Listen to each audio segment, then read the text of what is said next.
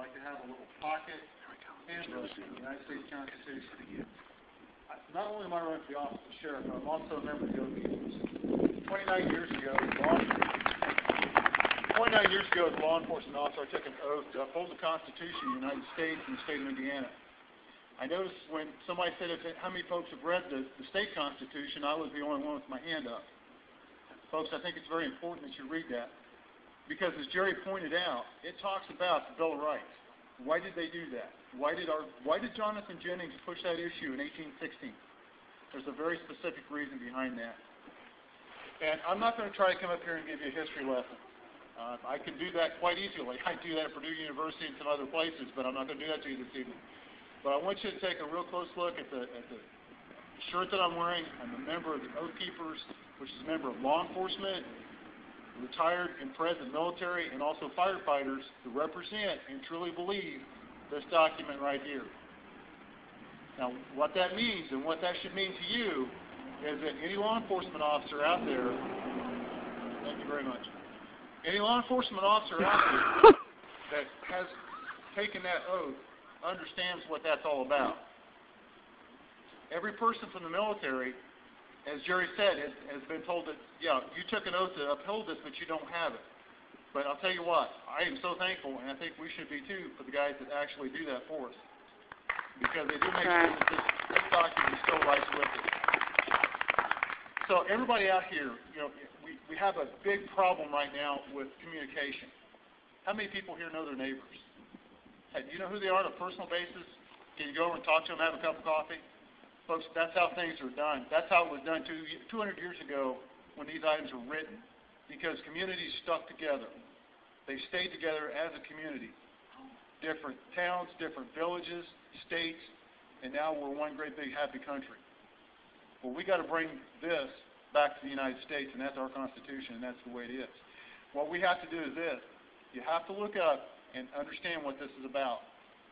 I'm going to give you a very simple reason, another reason why I absolutely joined the Oath Keepers was that about a few years ago, uh, the federal government come down and wanted to come up and serve a, a search warrant on a gentleman that was arrested for domestic violence battery 25 years ago. Now their goal was to come in and serve a search warrant on this man's house and take 25 guns out of his residence because he had been convicted of a domestic violence battery 25 years ago. Not present, not has he ever had any problems with the law enforcement since then, but for that time, there was no limit set on those type of search warrants. And those federal agents have to stop by a sheriff's office and notify the sheriff that he's going to go serve or do something in his county. State of Indiana, by the way, make sure that happens. So I guess what I'm saying is that if, if you have someone that understands this, that's representing you, that you put into office, should mean a lot to you and your rights. Because a person that understands the United States Constitution understands their rights and should have the ability to make sure that those that they elect to office understand them as well and respect them for you.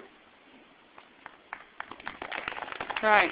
Just a real quick note, I know that you've seen some bad publicity on the Oath Keepers. Um, I can't say enough about them. Uh, there are over 10,000 members, and at this point in time, uh, I just recently got another member last week who's a retired Army colonel from the Pentagon. He spent 25 years as a tactician and had spent two different tours in uh, overseas, and, and I actually convinced him because people like uh, Bill O'Reilly consider us a bunch of uh, radicals.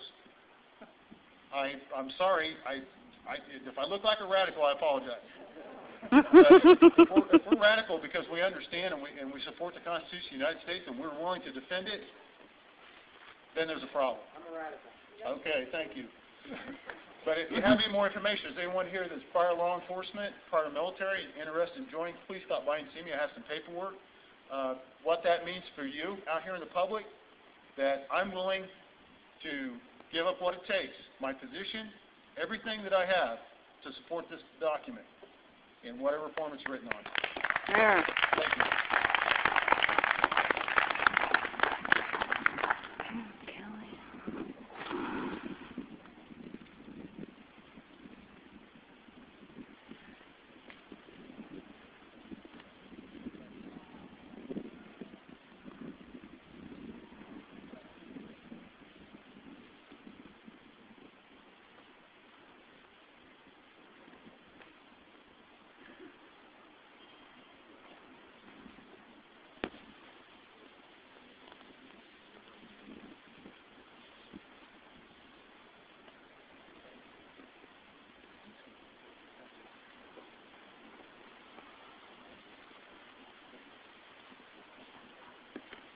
All right, everybody. It seems like we're going to have one little small speaker before we take the uh, oath keeper ceremony. Before we do the oath keeper ceremony, and uh, I want to present to you George Edwards, uh, my good friend.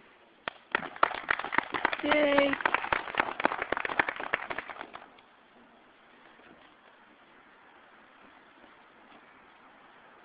Hey guys, this will only be for like uh, one minute. But I'm, I'm here with Students for Liberty. We have a sign-up sheet um, to, to, for email addresses and stuff like that. But we're doing this big project. It's called the Bastiat Book Project. And if you're interested in the ideas of liberty that you've heard tonight, um, we have books uh, with essays by Frederick Bastiat, including an amazing one called Things Seen and Things Unseen, which mentions the uh, problems with war and uh, other things and how it doesn't stimulate the economy.